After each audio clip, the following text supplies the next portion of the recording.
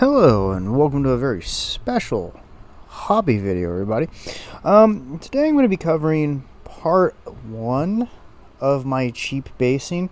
Uh, if you want to see another element of it, check out the All Game Terrain where I talk about a couple of the products I picked up from them. Today we are talking about the use of air dry clay. Now this is not anything new, bold, or uh, a grand discovery in the scientific field by me. This is just something that uh, effectively has been used for a number of different things. Uh, you could check out Scruffy Crow. He has one where he makes a catapult for a old dwarven army. But in this case, I figured why not touch on it for a bit of a smaller video. And I got a couple examples here. Now, I'm not a very good sculptor and by no means do I claim to be an expert. Some of this might look like a complete and utter mess. But first off, we're going to point out I picked up this large tub over here that to the left of uh, two pounds of clay for about three, four dollars from the local store. It's made by Crayola. I am not sponsored by Crayola. I don't like crowns that much. I'm joking, but I'm still not sponsored by them.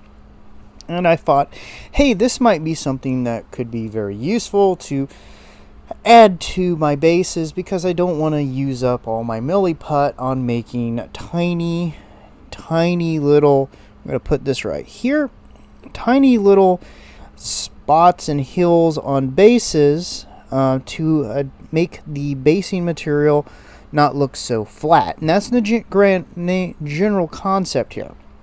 So I did a couple different things I sculpted.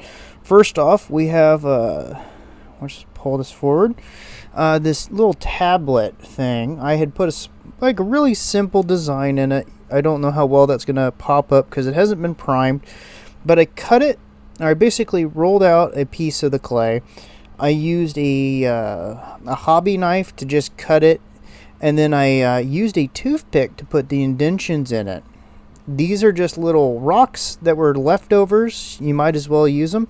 The other thing is you can throw it in, uh, you can crumble it up and throw it into a base mixture.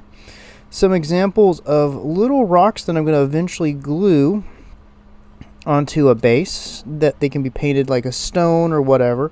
And then these things, which I've been, I'm failing at picking up. Pardon my hands. I have been, uh, doing a great deal of uh, painting in preparation for a couple things. But like these, uh, they're simple shapes. Uh, they're supposed to look like spirit stones, more stones, things like that. And I've been adding them because uh, the basing that I'm going with with my current project has a bit of a uh, hybrid between bogland slash uh, kind of some Japanese elements to it, and I thought these were kind of nice to be able to make, and you, they're really, really cheap and easy. I used the back of a rounded toothpick to put the hole in it, and then all you do is glue it down.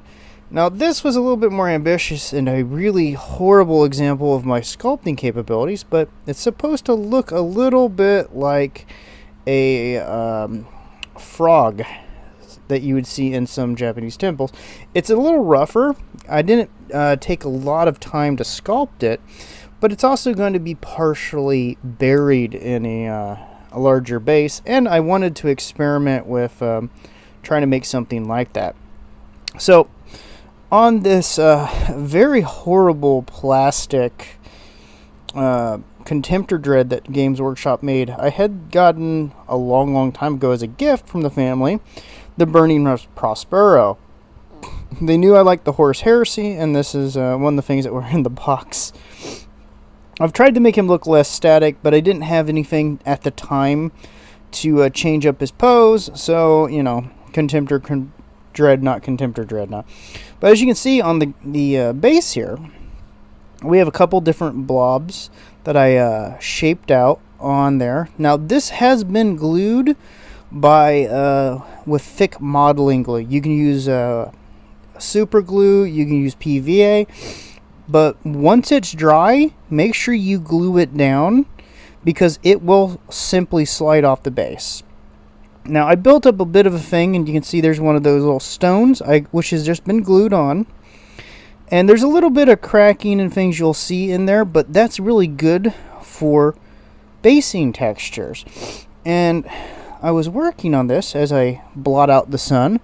Uh, this is a uh, conversion I made for a uh, Space Marine uh, Chapter Master. And so this is basically okay. So all the ground that you see in this is the air dry clay. The little part directly under his foot, that is a piece of plastic card that I took the time to cut notches out and to give a little bit of texture to make it look like a bit of cut stone that's been weathered away. And of course, we got one little spirit stones on there. Now, he's not done in any way because I ran out of time to finish painting him, so he doesn't have like 90% of what I would normally do to one of these guys. Um, he's just kind of rough and ready, but I wanted to show how this would look painted up. Now, once you get some of the extra ground cover, you know, flocking, if you use things like the, uh, the, oh god, the base ready from Geek Gaming, or you get some of the base ready stuff from All Terrain, or you get Krautcover, which I haven't actually investigated yet, but I'm trying to get some to investigate.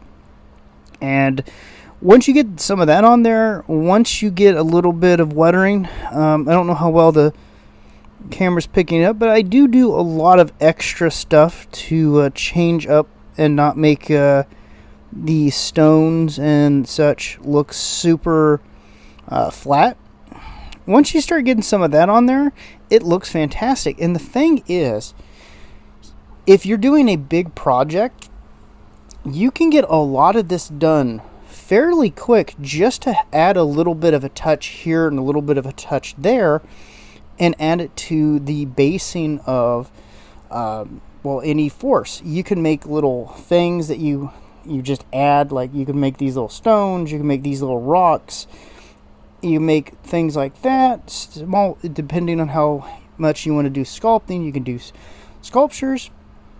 You could use a mold though i would suggest having a, a bit of a release on it a release powder and make cobblestone and so on and so on.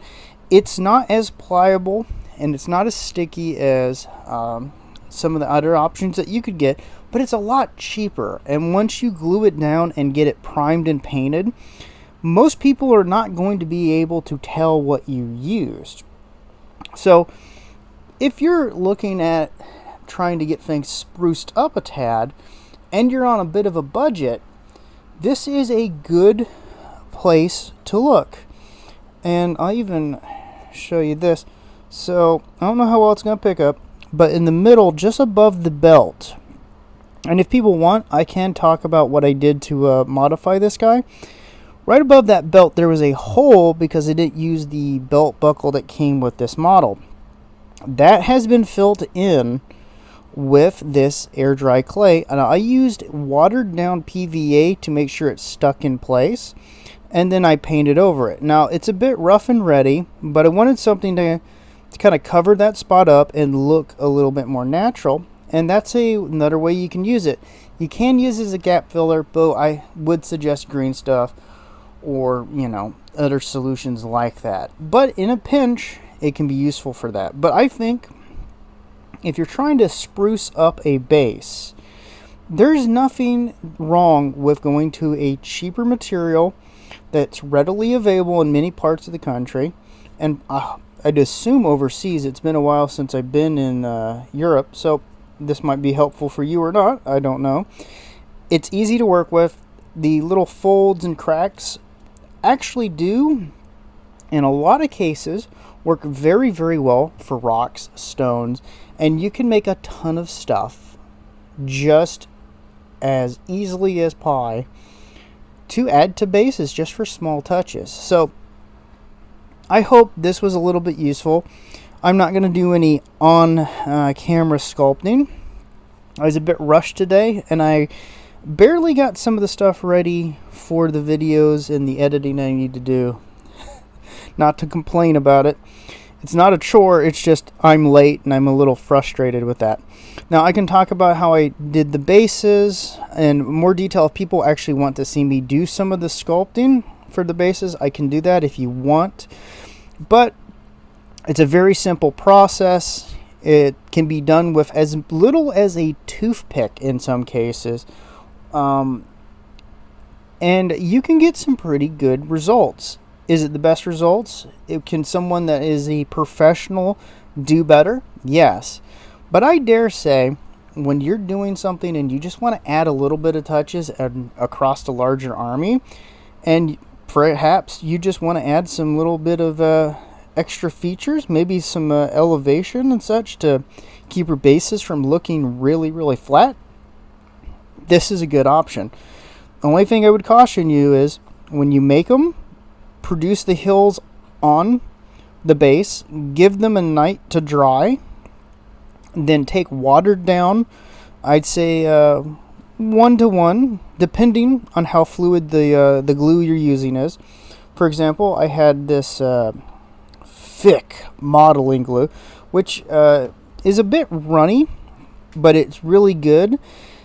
And what I did was I'd take these, I'd let them, I'd tip them off so they slide off, put the glue where I wanted them to be, put them right on top of it, and let them dry again overnight. And they're very on there. And once you get them primed and painted, they're fantastic. So that's my one tip for it. I hope this was useful. Let me know if this is useful to you. And I'll be doing some more stuff as time goes on. I'm going to be touching on uh, baking soda and things that you can add to a baking soda style basing in the future as well. So I hope you had a fantastic time, and I'll see you next time. Bye bye.